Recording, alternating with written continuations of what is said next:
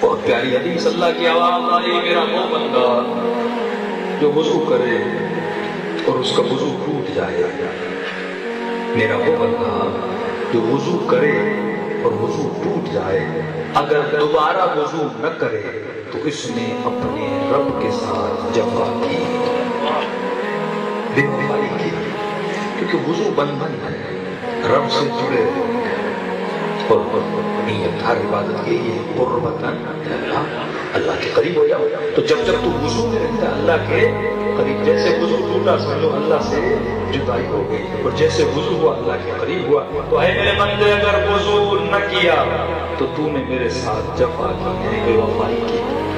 پھر فرمایا، اگر وضو ٹوٹا، وضو کیا، تو اس نے میرے ساتھ وفا کی۔ یہاں تک تو بات آ گئی، اگلا جو ہے تھوڑا سخت ہے۔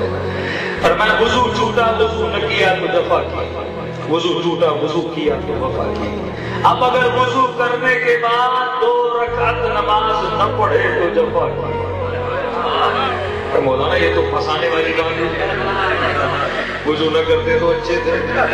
وضو کرو، اس کے بعد پھر دو رکعت نماز پڑھو تو وفا تو کرنی پڑے گی نا۔ ہاں، نہیں ہوگا۔ تو فرمایا، وضو کیا، نہ کیا تو جفا کی، کیا تو وفا کی۔ اور اگر وضو کرنے کے بعد دو رکعت نماز نہ پڑھی تو جفا کی۔ ایک مومن نے کہا، مولانا، یہ تھوڑا مشکل ہے۔ میں نے کہا، کیوں؟ وضو تو کر لے۔ بندہ اب روڈ پہ آفس میں نوکری میں جو نماز کہاں سے پڑھے مصحف نماز کے لیے نتیبلے کی شرط ہے پڑھ سکتے ہو۔ پڑھو لیکن اگر بندہ راستے میں ہے، سفر میں ہے، گاڑی میں ہے، ٹرین میں ہے، جہاز میں ہے، آفس میں ہے، گاڑی میں ہے تو مولانا وفا تو کرنی ہے اللہ سے کیسے وفا کروں؟ میں نے کہا نماز کے لیے قبلے کی شرط نہیں ہے۔ مصحف نماز کے لیے سجدے کی بھی شرط نہیں ہے۔ چلتے پھرتے مصحف نماز پڑھ سکتے ہو۔ گاڑی میں بیٹھ کے مصحف نماز پڑھ سکتے ہو۔ مولانا وہ کیسے؟ میں نے کہا وضو کرو۔ وضو کرنے کے بعد دو منٹ لگیں گے نماز پڑھنے میں۔ چلتے پھرتے ہو۔ اس میں گاڑی میں بس شرط ہے کسی سے دو منٹ بعد نہیں کرنی۔ اب گاڑی میں دیکھو، اللہ اکبر۔ ہم پڑھو، قل اللہ پڑھو۔ رکو کی باری ہے سر کو تھوڑا سا جھکاؤ پھر تھوڑا اوپر کرو پھر سجدے کی باری آئے تھوڑا سا سر کو جھکاؤ۔ یعنی اشارہ کرو کہ میں سجدے میں ہوں۔ میں اس طرح دو منٹ نماز مستحب میں لگیں گے، دو منٹ وضو میں لگیں گے، بہت زیادہ لگ جائے تو چھ منٹ۔ ایک ڈرامے کا وقفہ بھی تو چھ منٹ کا ہوتا ہے۔ کم از کم چھ منٹ تو یہ لگ جائیں گے نماز چلتے چلتے یعنی والے کے پاس علم ہو تو یہ چلتا پھرتا نماز ہی لگ جائے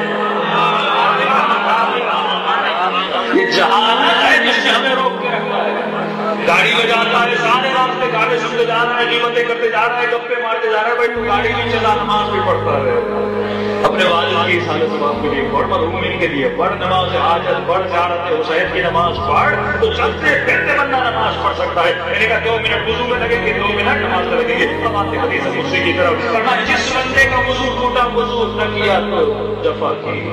وضو کیا تو وفا کی۔ وضو کیا، نماز نہ پڑھی تو جفا کی۔ نماز پڑھی تو وفا کی۔ اب اگر نماز پڑھنے کے بعد مجھ خدا سے کچھ نہ مانگے تو جفا کی۔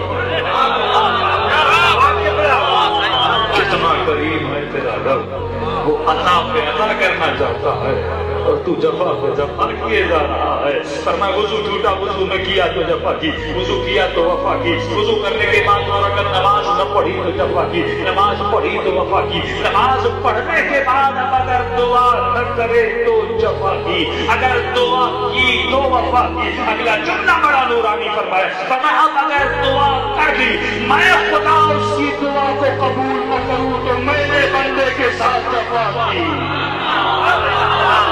اور رب کبھی جفا کرتا ہی نہیں۔ رب کی دربار میں وفا ہی وفا۔